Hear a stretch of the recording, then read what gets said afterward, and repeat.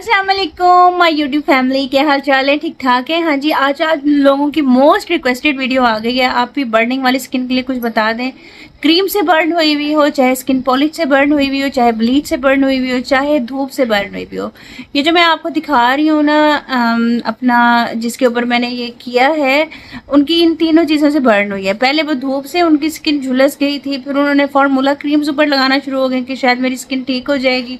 उससे उनकी बर्न हुई फिर उन्होंने ऊपर ब्लीच कर ली कि भाई शायद मेरी स्किन अब साफ़ हो जाएगी, उससे और ज़्यादा वो बर्न हो गई। और स्किन का कोई हाल नहीं था, ऐसे लग रहा था यहाँ से ना बिल्कुल जल गई है, जैसे जला हुआ पूरा निशान था। और माशाल्लाह मैंने उसके ऊपर ट्रीटमेंट किए हर्बल ट्रीटमेंट किए आपको दिखा देती हूँ कुछ क्रीम्स के साथ मिला के। वो आज आई थी, उन्होंने कहा जिस, जिसने मेरी स्किन देखी है ना, और उसने पूछा है कि स्किन के ऊपर क्या किया है माशाला एक ही दिन में मैजिकल उसके ऊपर इफ़ेक्ट आया है।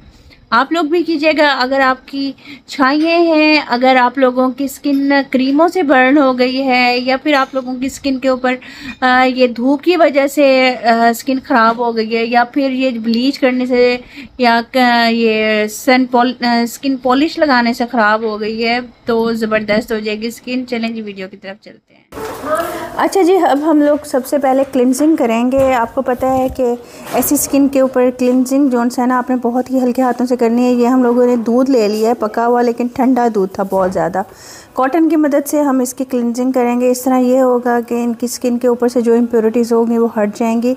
हल्के हल्के हाथों से आपने पाँच से सात मिनट क्लिनजिंग करते रहनी है और दूध में डिप करते रहना है। आप देखिएगा दूध जो है ना नीम हो जाएगा मतलब नीम गर्म हो जाएगा सारी जो स्किन की हीट होगी ना वो एब्जॉर्ब कर लेगा। इस तरह से करके आपने अच्छी तरह से इसको साफ़ कर लेना है। अच्छा जी ये देखिए हम लोगों ने इस तरह से खोए रख दिया। अब हम लोग ऐसी स्किन के लिए स्किन पॉलिश बनाने लगे हैं। ये हम लोगों ने दो चम्मच डिवेलपर लिया है। टेन वॉलीम और उसके बाद हम लोगों ने आधा चम्मच लिया है पाउडर का। ठीक है जी, ये आप लोग देख लो। ऐसी स्किन के लिए हम लोग टेन वॉलीम यूज़ करेंगे। ट्वेंटी मत कीजिएगा। अगर ट्वेंटी है तो आधा उसमें पानी मिला लीजिएगा। एक चम्मच पानी, एक चम्मच डिवेल्पर तो वो टेन बन जाएगा। ठीक है, और उसके अंदर आपने आधा चम्मच पाउडर का डालना है। ये हमने इसमें डाल लिया इसको अच्छी तरह से मिक्स कर देंगे और साथ हमने मैजिकल पाउडर डाला है, जिसको मैंने नाम दिया है, उपटन वाइटनिंग पाउडर। इसकी वीडियो भी पीछे पड़ी हुई है, देख लीजिएगा।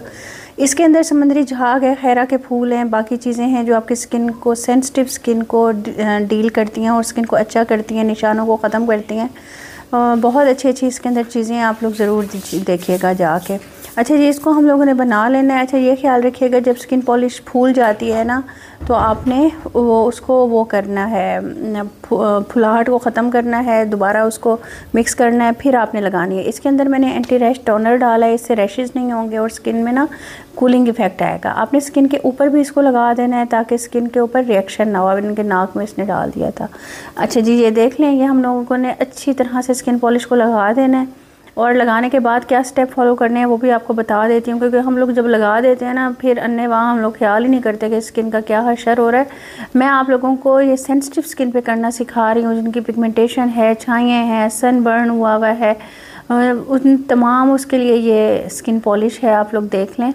इस तरह से हम लोग इनकी स्किन पॉलिश पूरी कंप्लीट कर लेंगे, लगा लेंगे और साथ हम लोगों ने एंटी रेस्ट टोनर भी लगाया है। अच्छा अगर आपके पास एंटी रेस्ट टोनर नहीं है तो मैंने आपको मुलट्ठी पाउडर का टोनर सिखाया है, आपने सनस्क्रीन टोनर सिखाया है, आप लोगों को मैंने ज़ाफ़रान वाला टोनर सिखाया है, आप वो भी कर सकते हो। वो भी, उनका भी इफ़ेक्ट ठंडा है कूलिंग है अच्छा होगा, ज़बरदस्त होगा। ठीक है जी, इसको हम लोगों ने इस तरह से लगा के छोड़ देना है छः से सात मिनट। उसके बाद हम लोगों ने इनका क्या स्टेप फॉलो करना है? हर दो मिनट के बाद हम लोगों ने एंटी रैश टोनर इनकी स्किन के ऊपर डालना है या फिर आपके पास जो टोनर बना हुआ होगा, वो डालना है। जो मार्केट वाला टोनर होता है ना, वो नहीं डालना आपने। ठीक है जी, इस चीज़ का ख्याल रखिएगा, उससे और स्किन रेड हो जाएगी। ये अच्छी तरह से हम लोगों ने लगा दिया, ये इनकी स्किन ना नीट एंड क्लीन हो जाएगी। आप लोगों की आँखों के सामने आप देखिएगा रेड भी नहीं होगी। फिर आपने सात से आठ मिनट के बाद ना चीक से हटा देनी है। स्किन पॉलिश, ठीक है? इससे ये होगा कि ये जो आपकी स्किन बर्न हुई हुई है ना, मज़ीद बर्न नहीं होगी, जितना उसको ज़रूरत था हल्की हल्की स्किन पॉलिश की वो हो गई है। जितनी टैनिंग होनी थी स्किन की, दूर वो हो गई है। यहाँ से हम लोग हटा देंगे और मज़ीद इसको छः सात मिनट देंगे और उसके बाद हम लोग स्किन पॉलिश को रिमूव कर देंगे। ये आप देखें, कहीं से भी रेड नहीं हुई। ऐसी स्किन हो और रेड ना हो, ये हो ही नहीं सकता। लेकिन अगर आप लोग स्टेप्स को फॉलो करेंगे ना तो जितनी भी सेंसिटिव स्किन आपके पास आ जाएगी ना, वो ज़बरदस्त रहेगी। सिर्फ़ आप लोगों ने वॉलीम का ख्याल करना है कि वॉलीम अपने टेन चूज़ करना है इनके लिए और चीक से हटा देनी है या जहाँ से बर्न हुई हुई है चीक से हुई हुई है या जिस तरह ये आँखों के नीचे से हुई हुई है इनकी, वहीं से हटा देनी है। अच्छा ये देखें, ये मैंने ठंडा यख पानी लिया हुआ है, अंदर बर्फ़ डाली हुई है, उससे मैं साफ़ कर रही हूँ। अच्छा ये मैंने अब मल्टी एक्शन क्रीम ली है, आप किसी भी कंपनी की ले सकते हो सॉफ्ट टच की ले लो, कहीं की भी ले लो। उसके अंदर वो मैंने मैजिकल पाउडर मिलाया है मैजिकल पाउडर इसलिए बना, मिलाया है क्योंकि उसके अंदर संदलवुड है, उसके अंदर लिकोरस है, उसके अंदर समंदरी झाग है, उसके अंदर डिफरेंट फ्लावर्स हैं डिफरेंट चीज़ें हैं, जौ का आटा है। मतलब सारी चीज़ें आपकी स्किन को ना रिपेयर करने वाली हैं। वो मैंने डाली है ताकि इनकी अच्छी से क्लिनजिंग हो जाए। अगर आपके पास नहीं है तो आप लोग उपटन अगर आपको सूट करता है तो वो आप लोग डाल लीजिएगा, ठीक है? उपटन मैं इसलिए यूज़ नहीं करती अपने क्लाइंट्स के फेस पे क्योंकि विटामिन सी काफ़ी लोगों को सूट नहीं करता, दाने निकल आते हैं। उसके अंदर ऑरेंज पील होता है तो मैं फिर उसको यूज़ नहीं करती। ये मैं अपना ही बनाती हूँ तो इससे उनको पिम्पल्स वगैरह नहीं होते और काफ़ी हर्ब्स डालती हूँ, हकीमी नुस्खे इसके अंदर मिला देती हूँ तो स्किन बहुत ज़बरदस्त हो जाती है। ये देखिए, हम साथ साथ एंटी रैश टोनर का स्प्रे करेंगे और इसकी हम लोग क्लिनजिंग करते रहेंगे। ये multi action double action triple action ये सब एक ही चीज़ होती है। आप लोग कोई भी ले सकते हो, इससे बहुत अच्छी क्लिनजिंग हो जाती है। लेकिन आपने एक चीज़ का ख्याल करना है आपने ना पानी बार बार यूज़ करना है, ठीक है? अगर आपके पास टोनर नहीं है तो मुलट्ठी पाउडर वाला आप टोनर यूज़ कर सकते हो, वो यूज़ कर लो और ठंडा ठंडा आप लोगों ने ये फ्रिज में रखा हुआ यूज़ करना है। मैंने भी इसको फ्रिज में ही रखा हुआ है, ठीक है जी? ये देखें, हमने इसको क्लीन कर लिया है फेस देखें कितना ज़बरदस्त हो गया है, कोई रैशेज़ कोई कुछ नहीं है ग्लो आ गया ये देखें।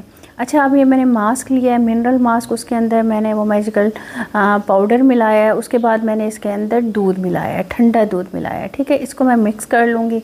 अच्छी तरह से कुछ, काफ़ी लोग पूछ रहे थे, ये मिनरल मास्क कहाँ से मिलेगा? मिनरल मास्क हर शॉप से मिल जाएगा, आपको हर कंपनी का मिलता है। इसके अंदर ना कूलिंग इफ़ेक्ट होता है तो गर्मियों के लिए ये बहुत अच्छा रह जाता है। आपके दाने शाने इससे बैठ जाते हैं, ठीक है? मिनथोल होता है ना, इसके अंदर तो अच्छा रहता है। अगर आपके पास ये नहीं है, कोई भी आपके पास मास्क है, उसके अंदर आप ये जो होता है ना, पाउडर प्रिकली पाउडर ये आप मिला लो तो आपका यही वाला मास्क बन जाएगा ठीक है? और अगर आपको हो गए तो परफेक्ट तरीका मैं आप लोगों को बता दूँगी इसका। इसको हम लोग अच्छी तरह से लगा देंगे जितने भी बेनिफिट्स होंगे मिनरल मास्क के वो इसके अंदर चले जाएँगे। जितने भी बेनिफिट्स होंगे इस पाउडर के मैजिकल पाउडर वाइटिंग के वो स्किन के अंदर चले जाएँगे। जितने भी आ, इसके अंदर दूध के लिकर वो है आपको पता है दूध के अंदर कितनी प्रॉपर्टीज़ होती हैं तो वो आपकी स्किन के अंदर चली जाएँगी, आपकी स्किन को कूल करेगा, आपकी स्किन को स्मूथ करेगा ग्लोई करेगा डोई करेगा। ये देखें, हम लोगों ने स्किन को साफ़ किया था, कितना ज़बरदस्त रिज़ल्ट आया। कहीं से भी रेड नहीं हुई, कहीं से भी रैशेस नहीं पड़े।